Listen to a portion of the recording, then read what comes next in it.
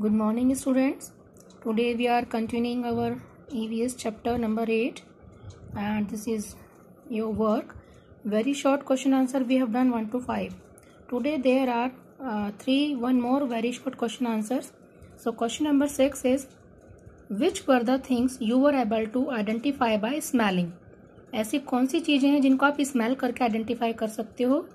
तो कौन कौन सी चीज़ें हैं? The things one we able to identify by smelling such as fruits and flowers etcetera fruits और फ्लावर्स उनकी स्मेल से हम पहचान जाते हैं ना कौन कौन से फ्रूट्स हैं या फ्लावर्स हैं।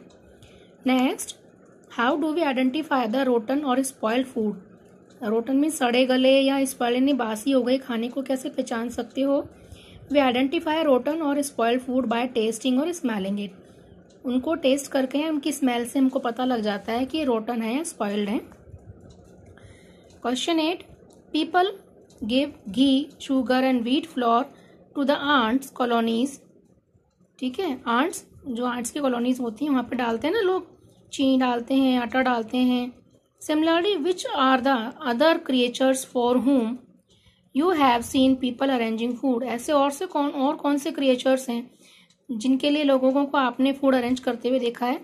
तो answer is people give food to cow dog fish pigeons etcetera now short question answers first is at which places have you heard a noise कौन कौन से प्लेसेस पर आपको नॉइस सुनाई देती है?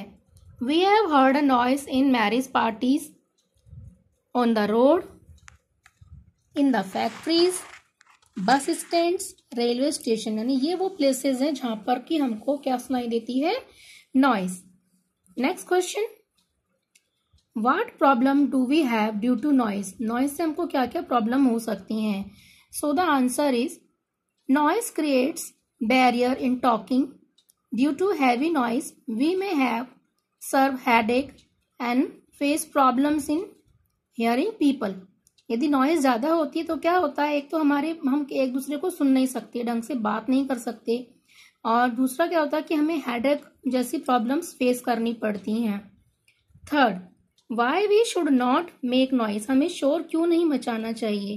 We should not make a noise because it creates sound pollution which is very harmful to us क्योंकि क्या होता है? ये नॉइस क्रिएट करने से साउंड पॉल्यूशन होता है, जो कि हमारे लिए बहुत ज़्यादा हार्मफुल है स्पेशली हमारे ईयर्स के लिए।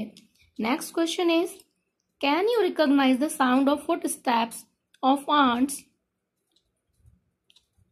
the people you know we can recognise the sound of footsteps of our father and mother यानी ऐसे कौन कौन से लोग हैं जिनके फुट स्टेप्स को, उनके पैरों की आवाज़ को आप पहचान सकते हो?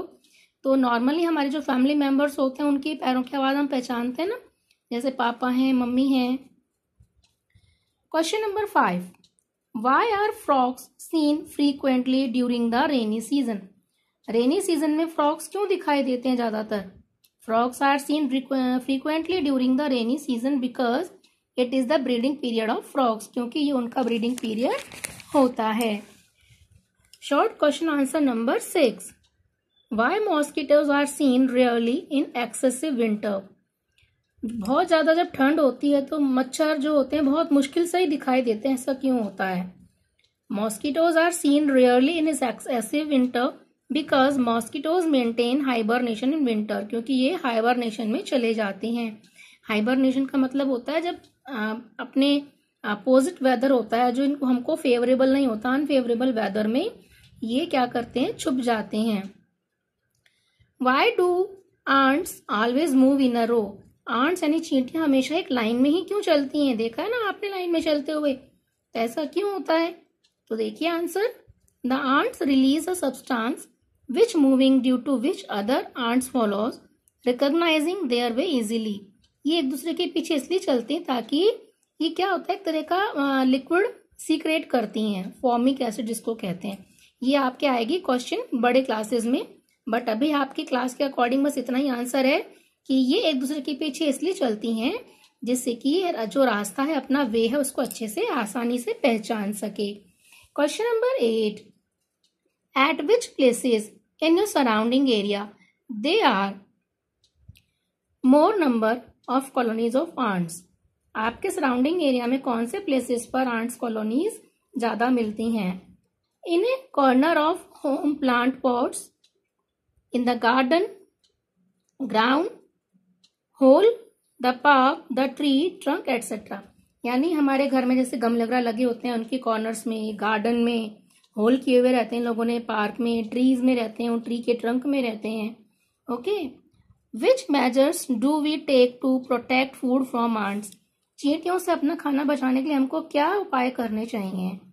तो देखिए सॉल्ट और salty water is spread in order to get protection from ants Nowadays, insecticides are used for protection from ants.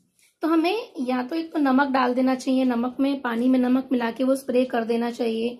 और आजकल तो इंसेक्टिसाइड्स भी आते हैं अलग अलग तरह के मच्छरों को इंसेक्ट्स को मारने के लिए। उनका हम यूज़ कर सकते हैं। So children they are the question answers ठीक है? तो वेरी शॉर्ट आपको करना है सिक्स सेवन एट और शॉर्ट क्वेश्चन